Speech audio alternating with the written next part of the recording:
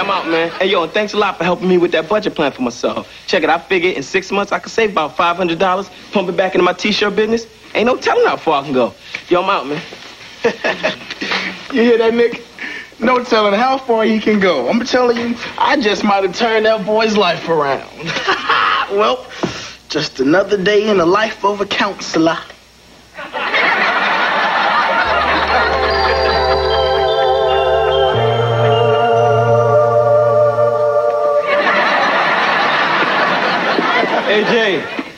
My man. T? Yes, T as in trillionaire. What, what's all this stuff? Well, I followed that budget advice you gave me years ago back when I was here at the center. I counted every penny and I invested. Now I own three companies and I'm on the board of several others. yes, I'd like you to meet my wife, Mrs. T, PhD.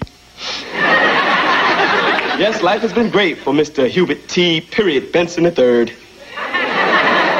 all this because of my helping you? That's right. And to show you how much I appreciate what you've done for me, I have a little something here for you. Here you are, friend. Read it. I made T a trillionaire and all I got was this t-shirt.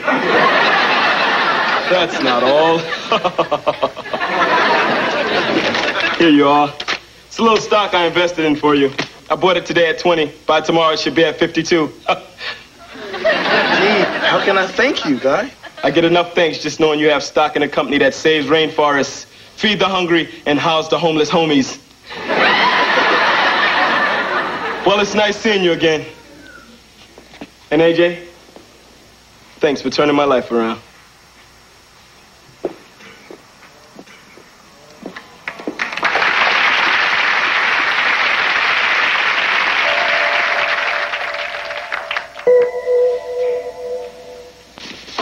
AJ, Gee, where's your wife?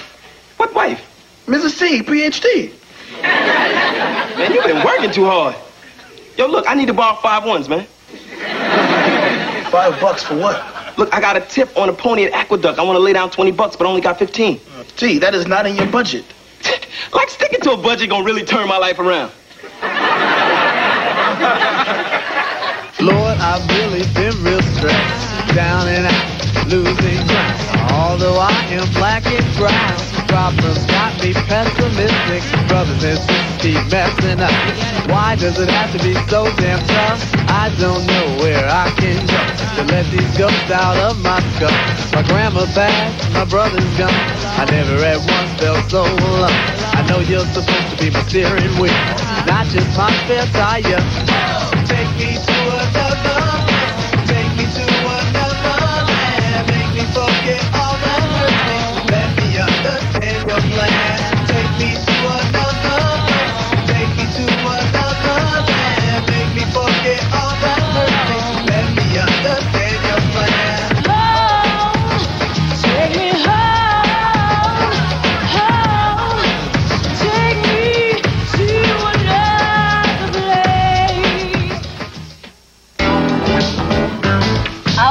y'all. Now, can anybody tell me what these words mean?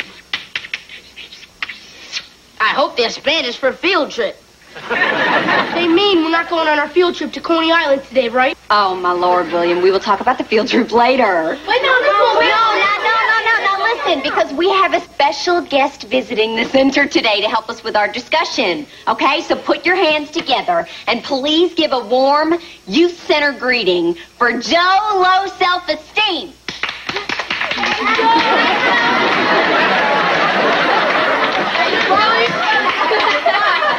Hey, Joe. How you feeling? Feeling low, Oh. How low? real low. Got no self-esteem. Now, can anybody think of a way to make Joe feel better about himself? Yeah. Get a better looking box. Well, yeah, I hear that a lot. So, voila. Well, Joe, how you feeling now? Still feeling low. Oh. Okay, okay. Well, how about we get Joe a sports car. You think that'll make him feel better?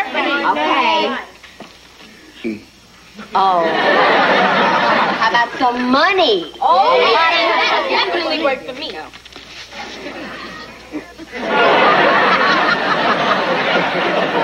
Okay, Joe, how you feeling now? Still feeling low. Now, you see, you guys, even though Joe has a car and some money, he's still feeling bad inside. Boy, there's no pleasing this guy. Self-esteem is feeling good about yourself on the inside. Like, what makes me feel good on the inside is coming in here and working with you guys. That's because you get paid for it. Uh, no, we don't. Well, no wonder you're feeling low.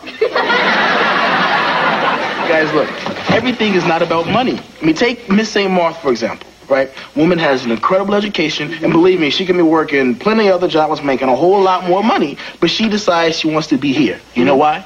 Because it gives her a good feeling inside to be helping others. That's why she's always so warm and, and giving and cheerful. Hey, afternoon, Miss St. Martha. Yeah, save it.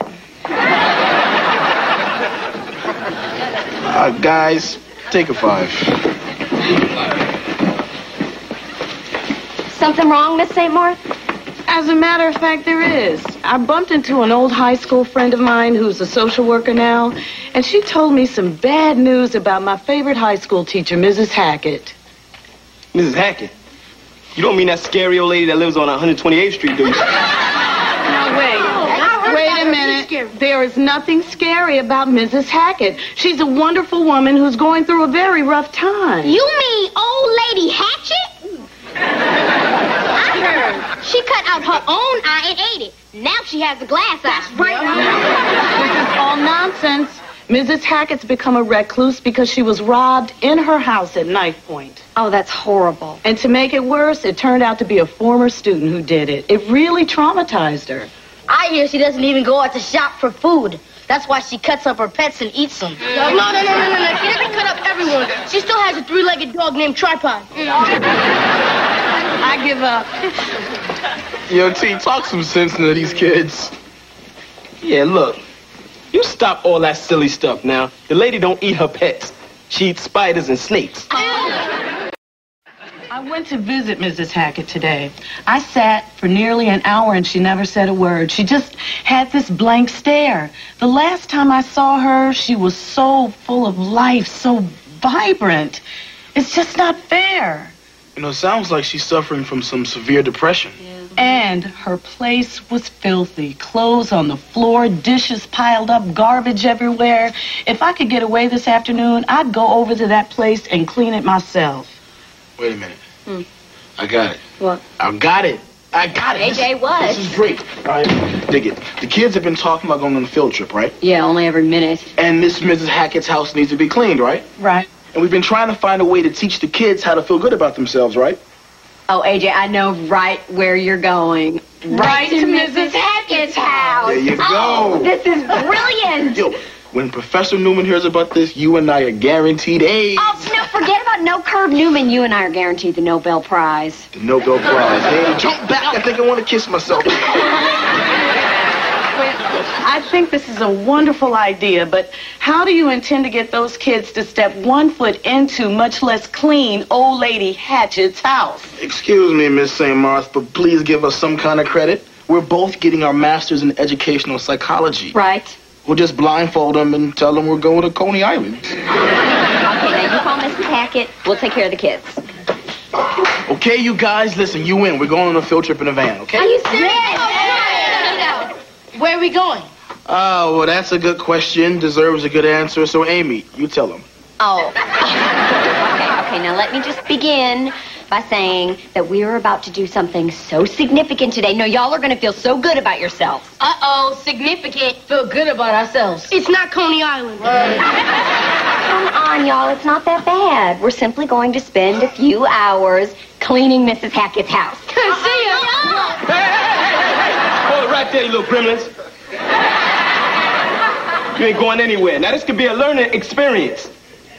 Wait a minute. This doesn't include me, does it? Call me when you're done. Come on, guys. We just got finished doing a lesson on self-esteem. All right? When you reach out and you help other people, it makes you feel good about yourself. Okay? trust me on this one, guys. The payoff is right here in the heart. Well, I prefer the payoff to be right here in the wallet. Listen up, guys. Mrs. Hackett is a nice elderly woman. She's had a rough time of things, and she needs our help. Now, I know I cannot force any of you to get into that van, but if I know each of you the way I think I do, you'll make the right decision. So, what's it gonna be? Who wants to play basketball? I'll be the ref. I'm Now listen up. I want each and every one of you who intends to continue being a part of this center to hear me and hear me good. Now, I'm the general in this army. I've got a big tank. Amy and Alexander here have smaller tanks. T has a hand grenade. and the rest of you have squirt guns. Now, since I'm the general, I get to say who can use the ping pong paddles, who can use the basketball court, who can come here for arts and crafts. In short, who can walk through that front door. Now, I want each one of you to get in the van, go to Mrs. Hackett's, and clean everything in her house from top to bottom. Any questions? Yes, William? Does Windex work on a glass eye?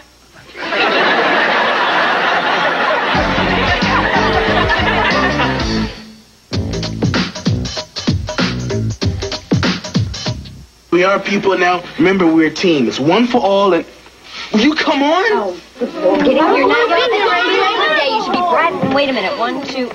We're missing someone. We're missing someone, right? T. I'm coming, I'm coming. I told you they'd notice.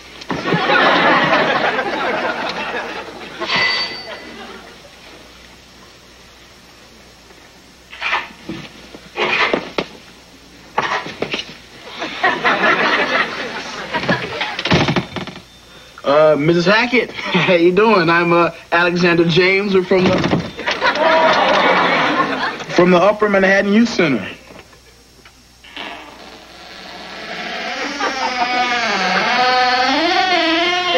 Let's go. In here, AJ, I'm telling you right now, if I see a glass eye anywhere than other than that lady's head, I'm history. You just go a bunch of business, Mrs. Hackett. Don't even worry about us. See, she learns fast. Man, will you look at this? Who'd she rent this place from? Addams family? I think I want to go home. No, no, no, yo, yo, yo, yo, hold up, listen up, yo. You guys just wait and see. Yes, it's gonna be tough work. Yes, you're gonna get dirty. You're gonna get sweaty. You're gonna ache. Oh, sell it, G. I he's right. You know what? This is going to be a day that you will never forget. There's something in the air. I'll say, and it's not Pine-Sol. All right, let's get ready for the job assignments. Okay, now Tanya Malik, you two have kitchen duty. Now I believe the kitchen is that way. okay, now you two have bathroom duty. No. Yes, you do. It's not a big deal. Go get the lights on. Go. I'm not cleaning No that. way. Come on, it is not that bad. Yeah, you guys will probably be done by dinner time. Dinner time. Yeah, dinner time. Tomorrow night.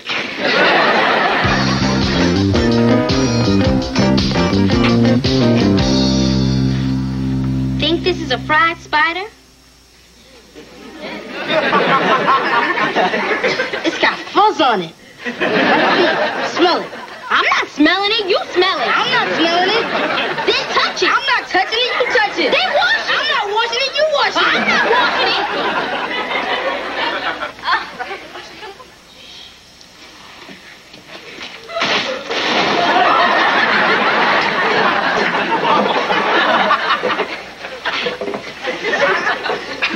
So, what are you guys doing in here? Great. Couldn't be better. Yeah, working hard. Feeling really good about ourselves.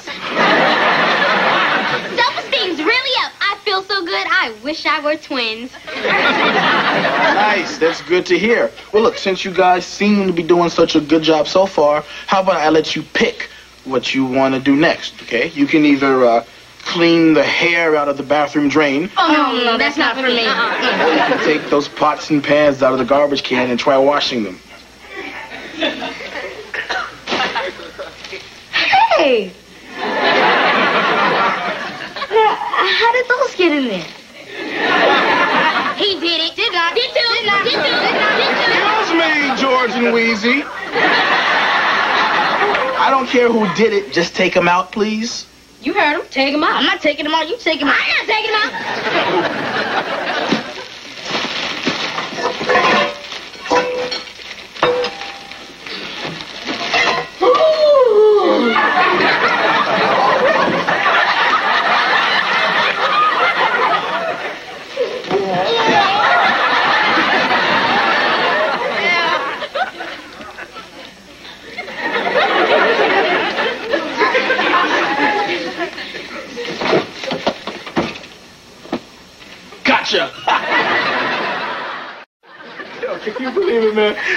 Malik in here throwing dishes in the trash instead of cleaning them. Kids. Um,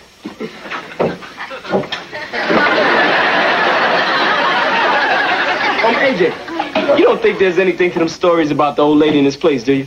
no, you crazy, man? I ain't think so. What's this furry thing in here? What? Yo, G, it's alive! Oh, it's got my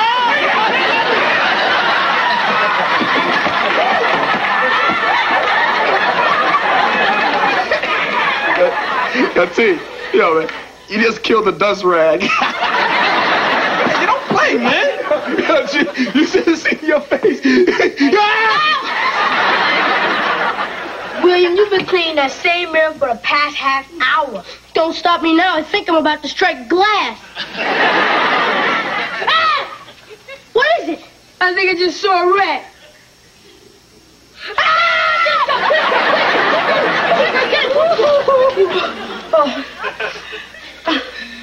You think it's gone? I don't know. Well, why don't you go look? I already saw him. You look. Make me. Ow! Okay, I'll look. I think I hear someone coming. Oh man, it's Mrs. Hatchet. She's got a hatchet. We're gonna die. I love you, Randall. I love you, Randall, man. I love you, man. Please, please, please don't get up.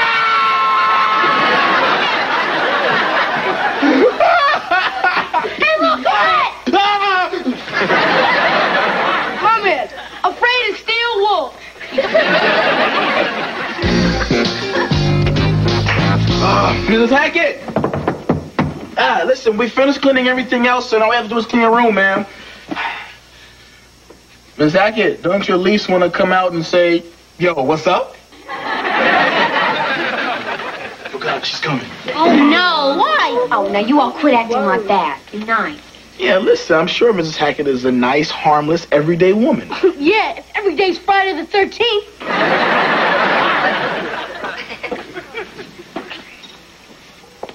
Hello.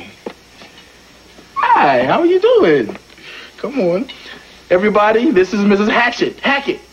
yes, yes, Miss Hackett, uh, this is the cleaning crew. Five bucks says the glass eye's the left one. You're on. Well, now look at you. You gonna do your hair? Well, you know what? It just so happens you are in luck because growing up in my house, my mother made me official keeper of the hair of all my little brothers and sisters. So I am a whiz at everything from flips to cowlicks. Maybe I can stay and help you do your hair while the rest of these guys clean up the bedroom. Guys, come on.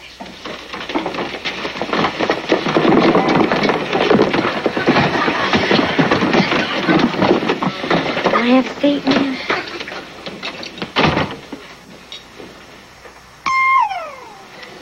Okay, there you go, Miss Hackett. Oh, don't you look pretty? You to see it? Let me show it to you. Here. Okay, what do you think? Looks perfect, huh? Okay, okay, I know what you're thinking. I know what you're thinking, and I can adjust it. It's not a problem.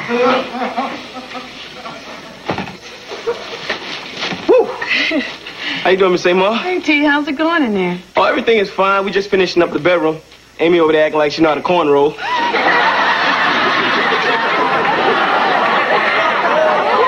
Can't believe this is the same place. It looks great. Hey, Miss St. Mars. Hey, Amy. Mrs. Hackett, you look fabulous. Okay, well, I'm gonna go check on the bedroom.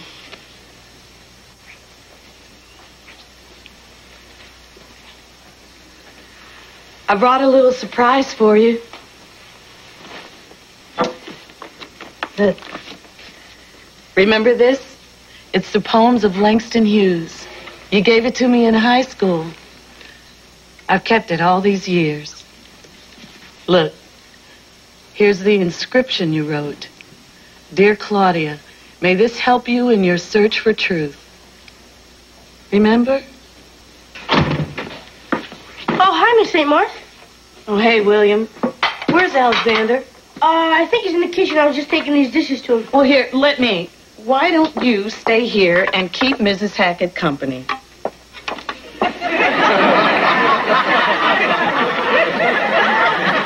Oh, sure. They always sacrifice the chubby kid.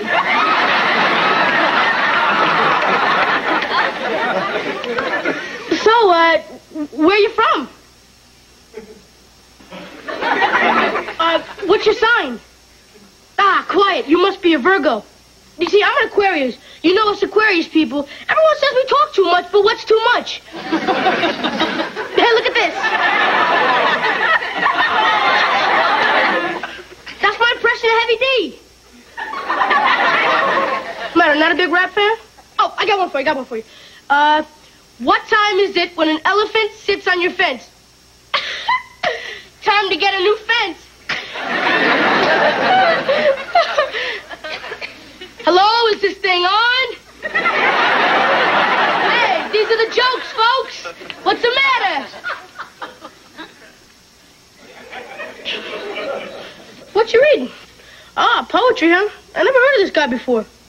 But it's a big book. It's got to be good, right? Any uh, limericks in here? I've known rivers. I've known rivers ancient. I bathed in the Euphrates. You ah, forget this. Euphrates. That was you, right? Euphrates. It's a river. Okay. I... Here, I think you're a little better at this than I am.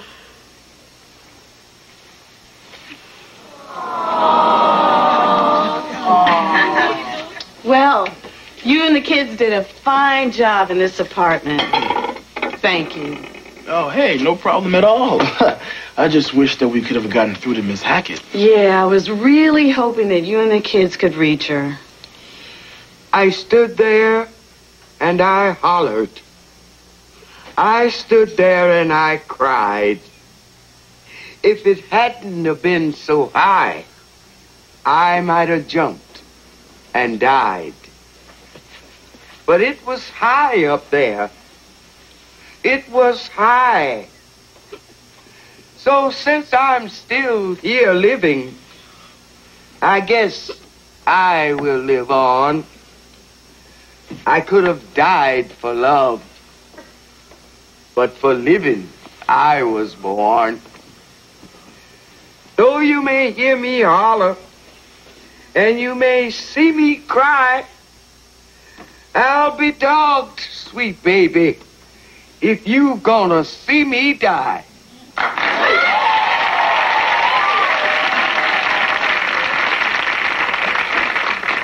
Life is fine, fine as wine. Life is fine.